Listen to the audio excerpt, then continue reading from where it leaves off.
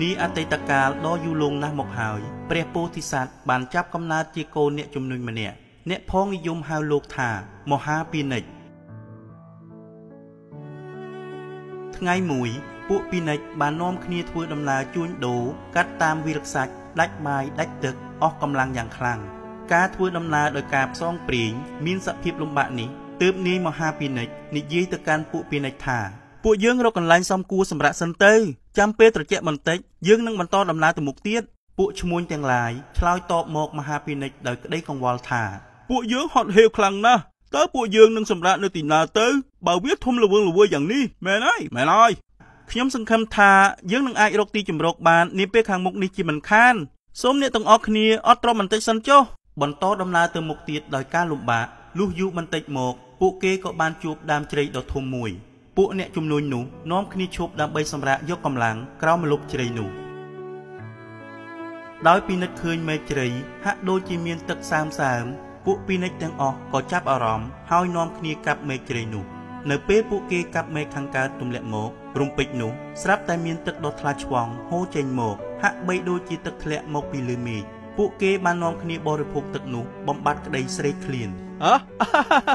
ដើមជ្រៃនេះពិតជាអស្ចារ្យខ្លាំងណាស់ពួកយើងមានទឹកហូបហើយ បន្ទាប់មកពួកឈ្មួញក៏កាប់មេឃខាងត្បូងវិញម្ដងកាប់រួចភ្លាមចំណីអាហារជាច្រើន បានធ្លាក់មកពីពេញក្រោមដើមជ្រៃពួកគេនាំគ្នាបរិភោគអាហារនោះតតែឆ្អែតស្កប់ស្កល់អស់អាហារច្រើនណាស់ពួកគេក៏នាំគ្នាកាប់មេឃខាងលិចថែមទៀត ពេលនោះស្រាប់តែលេចចេញស្រីស្រីស្អាតស្អាតដូចទេពអប្សរជាច្រើន ចេញមកពីលើមេឃឈើនោះពួកគេនាំគ្នាជ្រើសរើសយកនារីម្នាក់មួយម្នាក់មួយជាកម្មសិទ្ធិរបស់ខ្លួន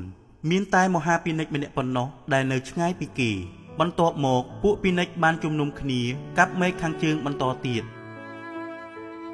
គ្រាន់តែកាប់រួចហើយស្រាប់តែធ្លាក់នៅត្បូងពេជ្រចរណៃកែវកង និងមាសចេញមកច្រើនឥតកណនា ពួកគេនាំគ្នាជញ្ជូនមាសប្រាក់និងត្បូងចរណៃទៅទុករៀងរៀងខ្លួនយូរយូរទៅ ពួកគេក៏ជំនុំគ្នាម្ដងទៀតសម្រាប់កាប់ដើមឈើនោះរំលំចោលតែម្ដងពេលនោះមហាពិនិចសេចក្ដីគិតតែម្នាក់ឯងថាក្រោយពីបានហូបទឹកអាហារត្រីត្រអាលនិងកាមរាដ៏ស្កប់ស្កល់ព្រមទាំងមាសពេជ្រដ៏ច្រើនសន្ធឹកសន្ធាប់ហើយក្តីពួកគេក៏នៅចង់កាត់ដើមជ្រៃទាំងមូលថែមទៀតនេះជាអំពើដ៏សាហាវយង់ឃ្នងខ្លាំងណាស់ គិតដូច្នោះហើយមហាពិនិចលើកដៃអង្វរសំពះក្រុមឈ្មួញទាំងនោះថាសូមអ្នកទាំងឡាយឈប់ត្រឹមនេះបានហើយខ្ញុំសូមអង្វរអ្នកបានជ្រកហើយមិនត្រូវកាប់បំផ្លាញជំរករបស់អ្នកឡើយ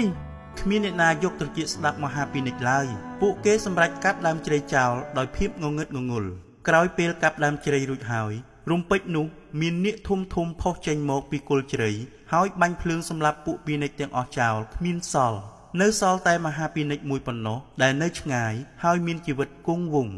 ដោយឃើញនៅទង្វើល្អរបស់មហាពិនិចស្ដេចនាគក៏កើតចិត្តជ្រះថ្លានិងបានប្រគល់មាសប្រាក់ត្បូងចរណៃដ៏មានតម្លៃទាំងអស់ទៅឲ្យមហាពិនិចស្ដេចនាគបានយូនកំណើតខ្លាចជាសារីបុត្រចំណែកមហាពិនិចបានមកជាតថាគតនេះឯង